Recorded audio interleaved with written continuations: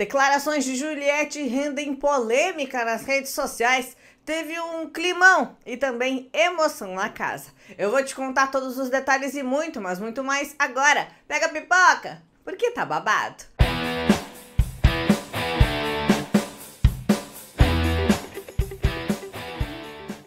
Oi pessoal, tudo bem? Meu nome é Juliana Nogueira e esse é o canal Eu Já Contei. Hoje mais um vídeo com as últimas novidades do BBB 21 para você. E olha só, desde ontem tá rolando a maior polêmica envolvendo a Juliette. A história ficou ainda mais grave na tarde de hoje, depois que ela afirmou mais uma coisa sobre essa mesma polêmica. Do que eu tô falando? Bom, da pandemia. O lance é o seguinte, olha só. Ontem eles estavam conversando e tudo mais. A Juliette, né, começou a comentar que ela já teria pego Covid e começou a explicar como estava a vida dela na pandemia. Disse que quando ela estava, né, em, uh, com a mãe dela no interior, ela estava isolada, ficou isolada com a mãe quatro meses, mas quando foi para João Pessoa, as regras já estavam mais flexibilizadas, né? Já tinha uma certa flexibilização, podia frequentar alguns lugares, né, de acordo com as normas da cidade, e ela frequentou esses lugares. E foi em uma dessas ocasiões que ela acabou pegando, né, Covid-19. Ela ainda disse que ela e os amigos todos pegaram em uma mesma oportunidade. Isso aconteceu em uma conversa que ela teve com a Camila de Lucas. E isso rendeu muita treta, principalmente porque a Camila repreendeu o comportamento de Juliette. Olha só. A conversa foi assim: elas estavam conversando ali na cozinha do BBB sobre os cuidados que as mães estavam tomando durante a pandemia. Daí a Camila contou que sempre foi preocupada com a doença e que a mãe dela é super cautelosa e também se cuida. Nesse bate-papo, a Juliette revelou que passou quatro meses isolada com a mãe no início da pandemia e que se considerava neurótica com todos os cuidados. Fazia minha mãe sair de máscara, luva, face, que no caso é aquela face shield, aquele de plástico, sabe? Ela parecia um ET. Daí a Juliette contou que se mudou de Campina Grande para João Pessoa a trabalho e aí sim passou a frequentar restaurantes, bares e festas, porque as medidas restritivas foram flexibilizadas. Trabalhei, fui para restaurante, saí, comecei a sair porque estavam liberados já. Restaurantes, essas paradas com distanciamento, até balada tinha, mas com distanciamento. Ela contou que nesse período deixou de visitar a mãe em Campina Grande e tempos depois acabou se contaminando. Ela disse ainda que suspeita que pegou a doença em um dos encontros que teve com os amigos. Arenguei, que no caso eu briguei, com uma amiga minha. Ela tinha bebido e eu me estressei. Aí disse que ia embora e voltei sozinha para casa. Pronto, foi nesse dia que eu peguei. Aí a Camila ouviu e disse: Se tivesse ficado quieta em casa, Juliette. Aí ela falou: Eu tenho duas possibilidades. Ou foi nesse dia, ou foi no aniversário de outro meu amigo, que mesmo assim era um negócio que só tinha a gente. Daí, depois de ouvir toda a conversa, a Camila ainda falou pra Juliette: Mas a questão é que não pode, tem que ficar quieto em casa. Se puder, quem puder, fique em casa. Quem tem que ficar em casa? Quem pode trabalhar de casa. A gente sabe que tem uma galera que precisa trabalhar, senão vai passar fome. A transmissão é justamente por isso, porque às vezes uma pessoa assintomática acha que não está, sai e passa. Por isso que quando eu saía, eu ficava em casa, disse a Juliette. Você quer se colocar em risco? É um direito seu. Você também não pode botar ninguém em risco, só você. Você é responsável apenas por sua vida. Meu princípio, depois que eu comecei a sair, era esse. Tanto é que eu não cheguei nem perto da minha mãe nem da minha vizinha. No mercado, eu ia de luvas e de máscara. De luva eu parei de ir, porque disseram que não era legal ir de luvas. Mas eu ia de máscara e de face shield. Minhas clientes eram com face. Aí ela terminou o assunto e tal. Essa história já rendeu muita polêmica no final do dia de ontem, né? No início da noite. Muitas pessoas passaram a comparar a Juliette com a Sara e com as declarações polêmicas que a Sara deu dentro do confinamento e que depois, né, acabou pegando o PEC perdão e pedindo desculpa nas redes sociais. Acontece que as pessoas disseram que o caso da Juliette e da Sara não tem nada a ver, porque a Sara debochou da situação, porque a Sara, né, desdenhou, minimizou, falou em um tom de deboche enquanto a Juliette estava contando a sua própria experiência de maneira séria e que fez isso enquanto as medidas estavam flexibilizadas, tudo dentro das regras permitidas pela cidade. Bom, o assunto não parou por aí. Por quê? Hoje os brothers se emocionaram. E se emocionaram muito. Eles receberam uma carta dentro da casa que falava sobre a vacinação que foi iniciada há um mês. É claro que a notícia deixou eles completamente muito felizes e emocionados. Eles choraram muito. A própria Juliette já tinha comentado dentro do confinamento sobre a preocupação dela com a mãe. A mãe da Juliette, inclusive, até já fez a primeira dose da vacina. Babado, né? Bom, quando eles foram informados, foi mais ou menos assim, olha só. Eles foram surpreendidos, Juliette foi até a dispensa e aí eles ganharam camisas especiais da campanha Vacina Sim.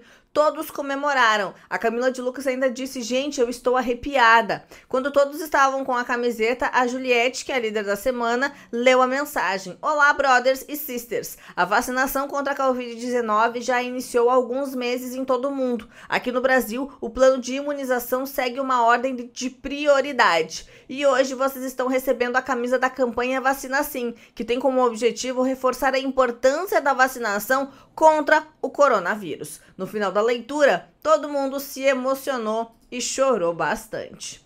Quero dedicar esse momento a todas as pessoas que foram embora por isso, a todas as vidas perdidas e a todas as famílias desfeitas, a todas as pessoas que lutaram e venceram, ao meu tio, a mãe da Camila e a mãe de todo mundo, ao pai de todo mundo, ao irmão, ao amigo. A gente conseguiu, disse Juliette, chorando bastante.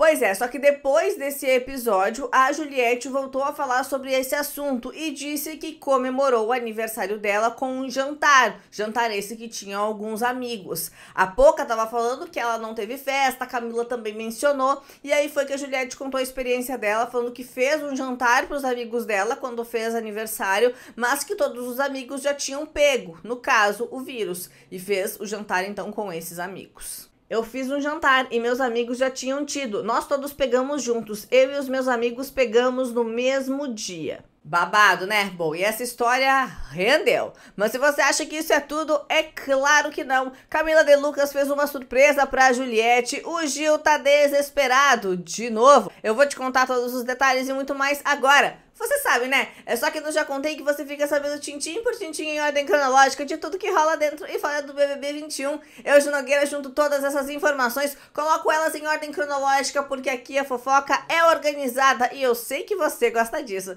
Então se inscreva para não perder nenhum lance, clica no botão vermelho que tá aqui embaixo, ativa todas as notificações, que daí pronto você não perde nada. Hoje à noite tem festa, pois é, uma das últimas festas da temporada. E é claro que eu vou estar de olho e amanhã de manhã, bem cedinho, eu venho para te contar tudo que rolou por lá. Mas olha só, deixa eu te contar quais são as últimas novidades da casa mais vigiada do Brasil. A surpresa que a Camila de Lucas fez é a seguinte: olha só, ela atualizou o avatar da Juliette no painel tático da academia. Aí ela levou a Juliette pra lá, vendando os olhos. Daí ela pediu pra que a Juliette sentasse ali com todo cuidado, tirou as mãos e mostrou pro painel tático onde ela tava ali toda toda com destaque, com o roupão do líder e tudo mais. As duas gritaram e comemoraram. Juliette líder. Eu sou a líder, disse a Juliette. Ela que estava muito empolgada para essa liderança e queria muito. Bom, olha só. O Gil segue apavorado achando que vai sair. No raio-x ele disse: "Mais uma vez paredão, sexta vez. Estou indo com duas mulheres fortes. Estou triste, estou mal e querendo muito ficar, mas é difícil. Quero muito a ajuda de vocês." Bom, depois que eles se emocionaram com a notícia da vacina e tudo mais, o Gil resolveu falar sobre essa situação e até, né, falar sobre o projeto de vacinação. No momento que eles estavam ali falando sobre o top 5 e tal, ele falou sobre os médicos que estão na linha de frente do combate à doença e os brasileiros que não resistiram. E ele ainda falou sobre a importância da pesquisa. Ser pesquisador no Brasil com dois mil e pouco, o que não é muito, é muito difícil. Eu vim da pesquisa, do doutorado, sei como é difícil. Muitas pessoas fazem ser valorizado. A pesquisa é válida, honrada e a pesquisa merece. Pesquisador vale muito. Pesquisador no Brasil vale muito, ele disse. E as outras pessoas acabaram aplaudindo ele por essa declaração. Bom, Passado isso, é claro que tem que ter um pouquinho de climão, né? E o climão que rolou foi o seguinte, olha só, a Juliette estava sentada na cozinha do VIP e pediu para que o Gil ficasse na cozinha com ela.